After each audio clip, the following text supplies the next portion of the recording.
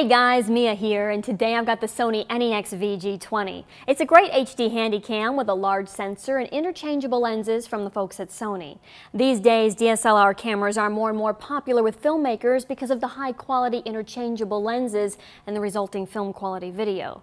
But one of the challenges has been that DSLR cameras were built for still photography, so videographers are going to love the form factor and camcorder style controls of the new Sony NEX VG20. The NEX VG20 has a swiveling 3-inch touchscreen TruBlack LCD, a top hand grip with a second record button for that low-angle shooting, and a built-in hand strap. Sony's Exmor APS-C sensor is the same size as Sony's DSLR APS-C sensors, which are much bigger than sensors found in conventional camcorders.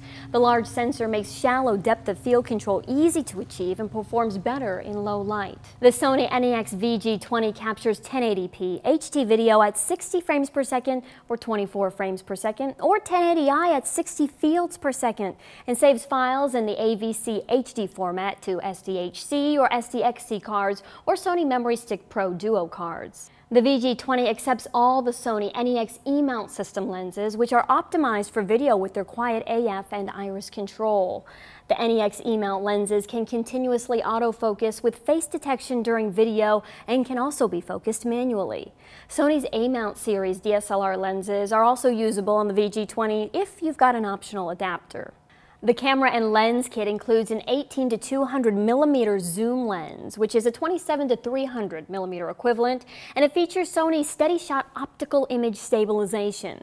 Already have a lens? Well, just the VG20 body is also available. As you would expect from a Pro Handycam, the VG20 provides manual control of iris, shutter speed, gain, and white balance, as well as program aperture priority and shutter priority exposure modes. The VG20 also features zebra warnings and peaking for precise focus and exposure control.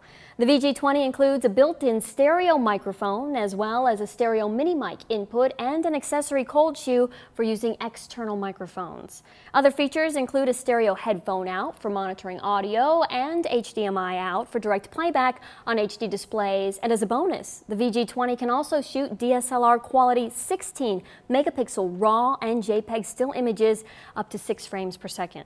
So pro videographers who up until now only considered DSLRs with HD video capability just so they could get cinema quality video, now have a better option made just for them. With the Sony NEX VG20, I'm Mia McCormick. For more information, please visit us online, give us a call, or stop by our New York City Superstore. You can also connect with us on the web